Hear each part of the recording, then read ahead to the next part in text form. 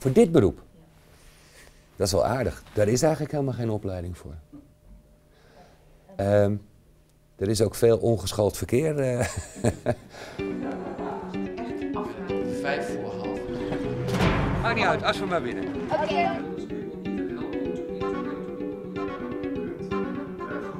We naderen het kruispunt waarbij het wij tegen zij wordt of zij tegen wij.